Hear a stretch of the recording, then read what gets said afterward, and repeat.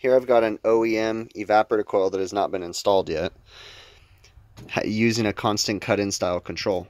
So remember the operation of the constant cut-in control. No matter how cold I turn this, and it gives you numbers from 1 to 7, so if I turn it to 7,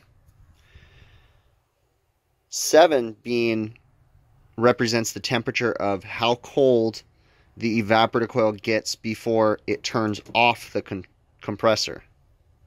But no matter what you set this number at, it always turns back on at 40 degrees. That in itself is self defrosting because no matter how cold I set the cut out temperature, which is when the compressor cuts out or turns off, the cut in temperature, or when the compressor turns back on, will always be at 40 degrees. They do this because this is an electromechanical control. It uses the gas charge in the sensing bulb that's set up to always turn that control back on when this coil temperature inside where this sensing bulb is located, notice the sensing bulb right here, okay, it's embedded in that coil. When that sensing bulb gets back up to 40 degrees coil temperature, it's going to turn that control back on. So that in itself is self-defrosting because 40 degrees coil temperature is above 32 degrees. 32 degrees is obviously when we form ice. So, constant cut-in control example. Here's another example of an evaporator coil that also uses a constant cut-in temperature controller. Uh, you notice the style of the evaporator is different. This is a Mullion mounted coil, or Mullion style mounts, you know, basically in between two doors on the door frame. The temperature controller is right there. So here's a look at the inside. Same thing, this is a constant cut-in control. Maintains a 40 degree coil temperature. Just a little bit different arrangement than the last coil, but still does the same thing. No matter how, how cold we turn the dial, it always cuts back in at 40 degrees. Here's an up close of a constant cut-in temperature controller. This is a bad one that I pulled out and I happened to save it. But sensing bulb embeds in your coil. The numbers just with the inside. Single pole, single throw. This right here is an example of an electronic constant cut-in control. This one has some options though. This one is programmable by the manufacturer. Uh, this is uh, made by Danfoss, but um, it can be programmed to do all kinds of stuff. So you've got two probes. One gets embedded in the evaporator coil. One senses the air temperature.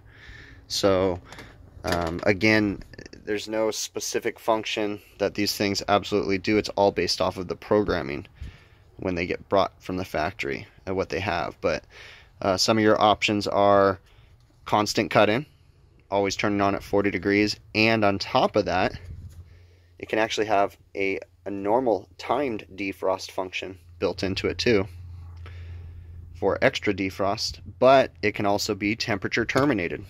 So if you've got a coil temperature and an air temperature, they can look at the coil temperature and they can also look at the air temperature to get a more accurate defrost termination temperature to make sure your box isn't getting above 40. This particular control, uh, you, you can see the terminal designations there. There's C for compressor, L and L is line, H is your heater circuit, N is your neutral circuit, and F is your fan circuit. So this is actually for a refrigerator. So this one doesn't use the heater circuit, but it does use the fan circuit. So they've actually got an algorithm built into this control to stage the evaporator fan motors and turn them off uh, based off of their funky algorithm. But they do it to uh, save energy. So this is typically an aftermarket control. I have seen them from some OEMs, but they're typically aftermarket. This is a very versatile controller. Um, this particular one does not have built-in defrost, but they actually, the manufacturer Penn, which is made by Johnson Controls, has actually come out recently with a new control. Um, I can't remember the designation or part number, but it's the same look right here. But it actually has built-in defrost also. But you can do all kinds of stuff with this. This would be, I would consider an aftermarket electronic digital controller.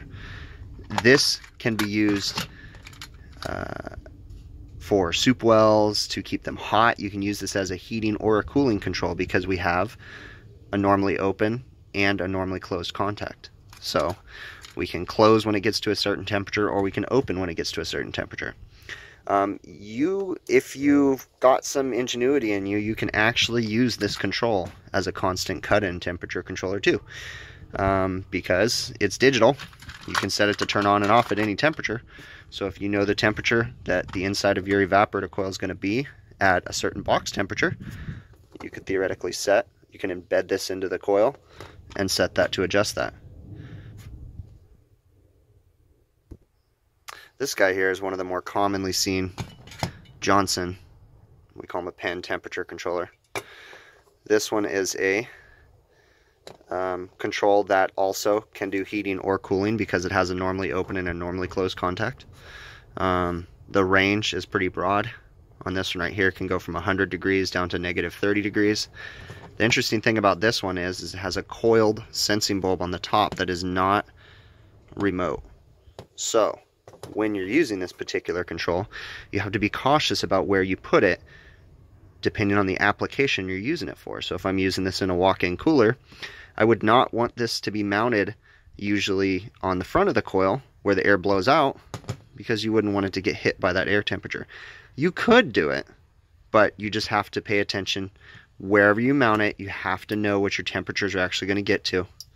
Um, this is typically mounted in the return airstream up on the back wall of a walk-in cooler evaporator coil.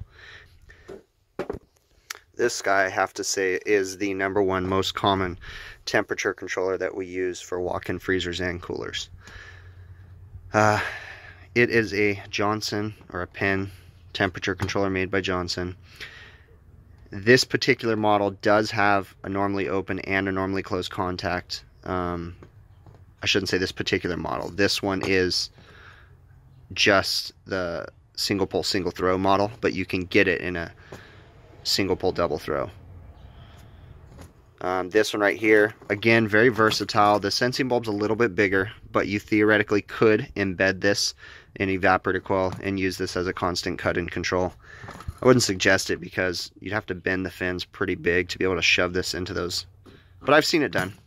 But anyways, this is a very broad range control. It goes from 100 degrees down to negative 30 very, very common truck stock item. Uh, usually keep one or two of these if you're doing a lot of walk-in